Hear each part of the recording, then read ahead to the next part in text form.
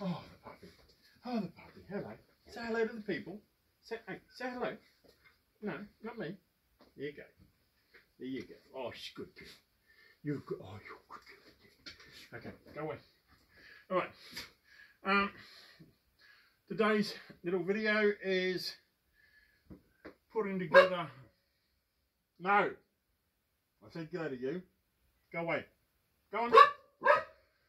Uh, putting together a five frame unit. Today, instead of cutting everything out as I go, I've pre-cut everything, so it's just a matter of putting it together. I will put all the measurements on the in the comments of what I'm doing, um, so that you can make it as well. And if you like what I do, and then please subscribe. Um, yeah, comment, hit the bell, you know, stand on your head, blow your socks off make a noise, just let me know that you enjoy it. Anyway, start up. Ends. Glue. No, it's on the floor.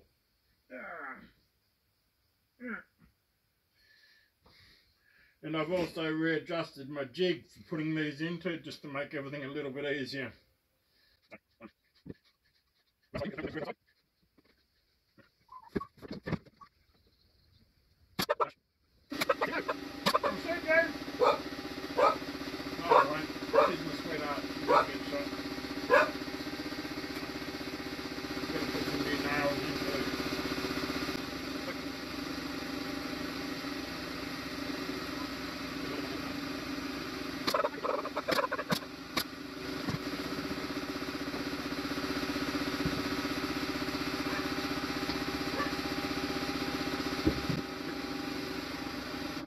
Plenty of glue. Don't be afraid of using glue. Right. Because glue is going to hold the boxes together in the long run.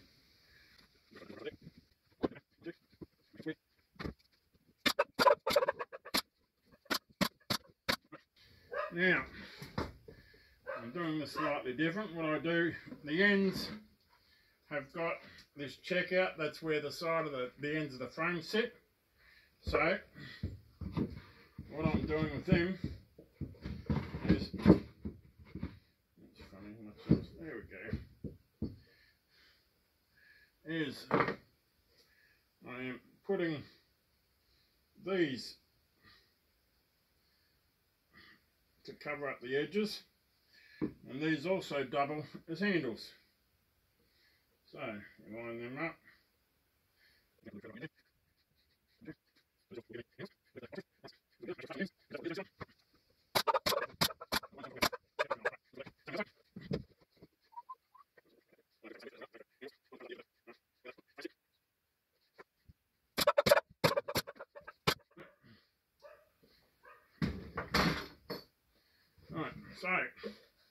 That's basically the box. The base.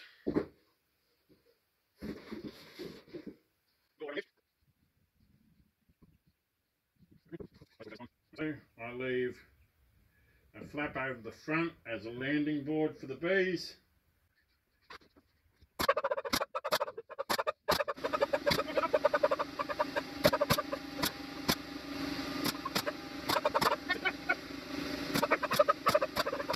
For some reason she doesn't like the sound of the gun. She's normally a quiet, lovely, peaceful dog.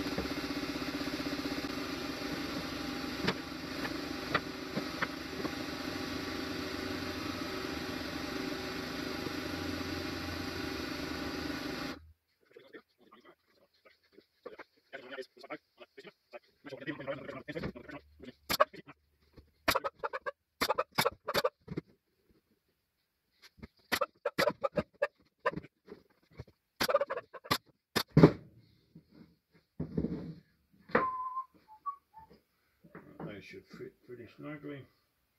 By the time that pulls up, yep.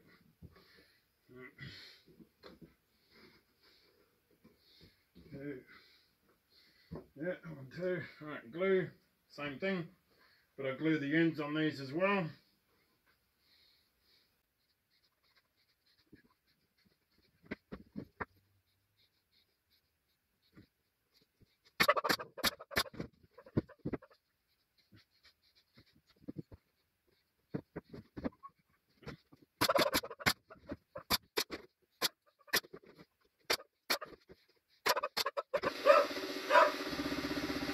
There. We'll put the lid on there.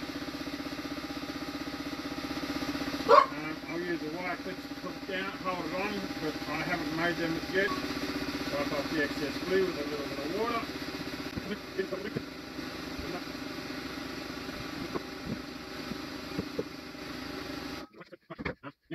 Shall do that's it. landing in, so we'll go this way. Right, I put vents in the back of the box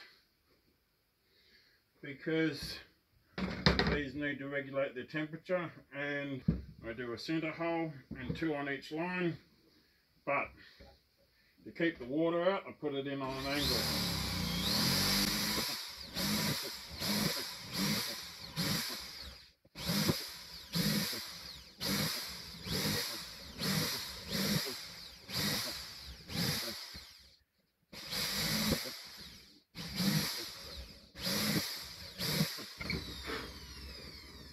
Right, as you can see, that there, because they're angled down, like, angled like that, water hits it, it's not going to run in and annoy the bees, but it is going to give good air ventilation.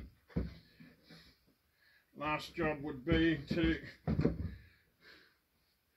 get the hole drill, which was there.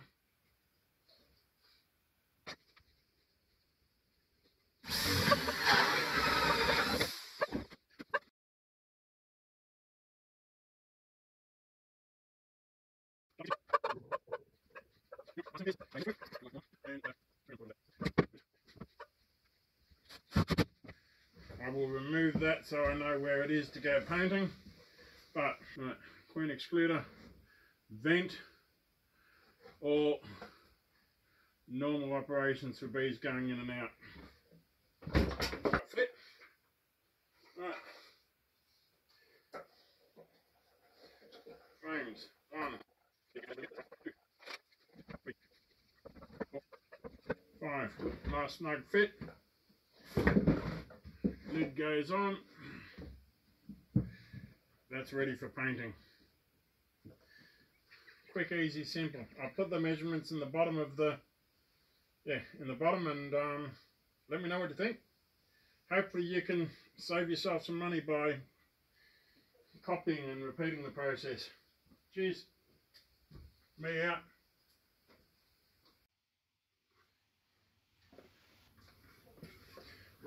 Back again. I figured I'd show you how to do the clips on the box. Um, yeah, make them up. It's just, they're not hard to do. They're just as effective as the bought ones. And it completes the video. So, it's ready for painting. Alright, okay, me up close and personal. Now, those clips you see on the side of bee boxes, you can make them, basically you want a high tensile wire, like this stuff here. This is fencing wire, but you know, I'm sure you can buy it in shorter amounts at your general hardware. Just make sure you ask for high tensile or spring wire. And what you do, is you get the end there, you twist it down first with whatever tools you happen to have and you get come in from the bottom like so besides the point and twist it back up so that you form an eyelet and you open up your give it a pinch to shut it. Right bend it up a bit. Right get roughly the center and bend that down, keeping that eyelet vertical, bend that down, not all the way, just so you've got a slight triangle like so. Really lousy on the centre, but that doesn't matter. Right. And then you grab the end, other end, and bend it up a little. So you end up with basically that eyelet ridge half a hook. Then you repeat the process like that one which I made earlier. And then to mount it, you need a couple of screws, short ones, not too long, you don't want to go all the way through your timber, unless you're willing to cut it off. You want the top of the hook roughly centre. So, washer on the screw, through the eyelet, that just stops it from jumping off. Figure out your rough centre.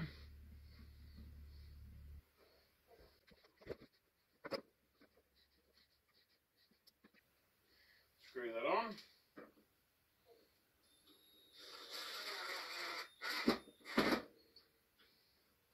So that it pivots.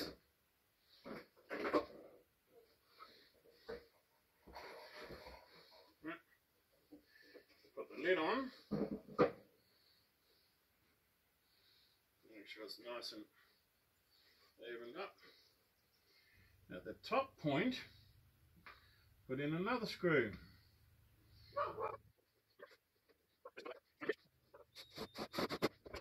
Then you pull that down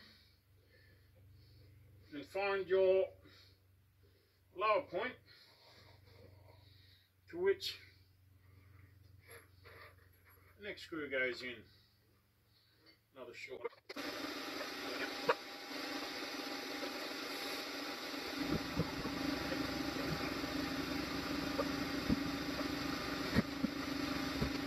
Feet on the other side.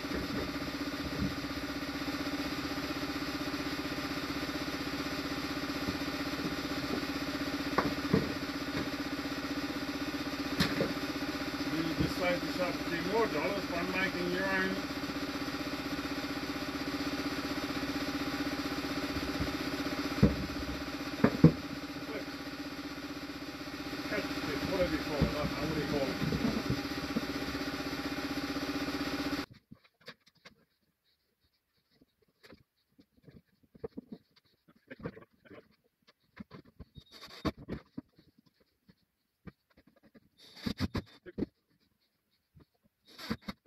Right.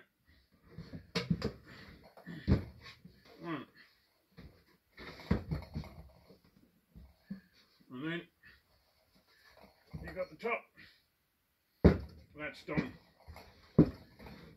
Works just as effectively as the bought ones. Just a whole lot cheaper. Right. That's ready for painting. Oh, I do do one other thing, just as a neatness thing, and that is round off the corners. That's ready for painting. You can sand it if you want to, you don't have to, it just makes it look a bit prettier. But there you go, done.